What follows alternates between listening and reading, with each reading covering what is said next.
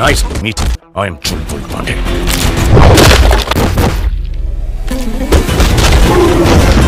अरे सालों, तुम भरी हुई चिल्ड बोतल लाते तो हम तुम्हें माफ़ भी कर देते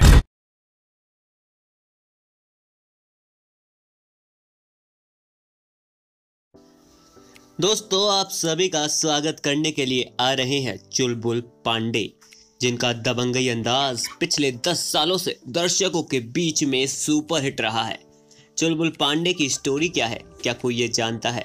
यही स्टोरी लेकर चुलबुल पांडे दबंग थ्री पे आ रहे हैं, जहाँ पर चुलबुल पांडे की पुलिस बनने तक का सफ़र हमें दिखाया जाएगा। भू माफिया पर यह फ़िल्म आधारित होगी और दबंग पांडे, यानी कि चुलबुल पांडे एक अलग ही अंदाज में हमें नज़र आने वाले हैं।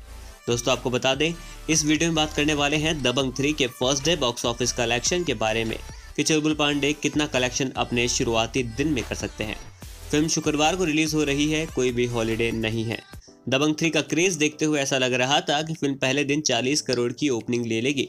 लेकिन अभी पूरे भारत में कई बड़े बड़े शहरों में कर्फ्यू लग रखा है, ऐसे में सिनेमाघर और बॉलीवुड बिज़नेस काफ़ी ज़्यादा इफ़ेक्ट भी करने वाला है। ऐसे में दबंग थ्री का जो फ़र्स्ट डे कलेक्शन रिपोर्ट सामने आ रहा है, वो 29 से 30 करोड़ रुपए के बीच में है। एडवांस बुकिंग को मद्देनजर रखते हुए कई शहरों में इसकी बुकिंग सुबह आठ बजे के शो से ही शुरू हो गई है। लेकिन पहले दिन दिल्ली जैसे बड़े शहरों में शोज़ का काफ़ी कम लग पाना इस बात का बड़ा संकेत है कि पहले दिन ये फ़िल्म ज़रूर थोड़ा झूला झूल जाएगी। लेकिन आने वाले दिनों में रविवार हो या क्रिसमस, वहाँ पर दबंग थ्री ऐसी बाजी पलटने वाली है कि फ़िल्म 200 करोड़ के आंकड़े को तो ध्यान में रखकर चल रही है।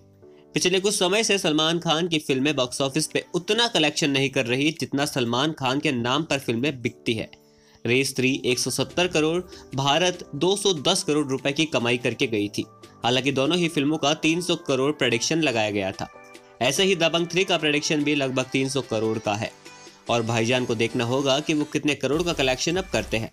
खैर, जो ही पब्लिक रिव्यू होगा, वही मायने रखता है कि फ़िल्म कहाँ तक जानी है।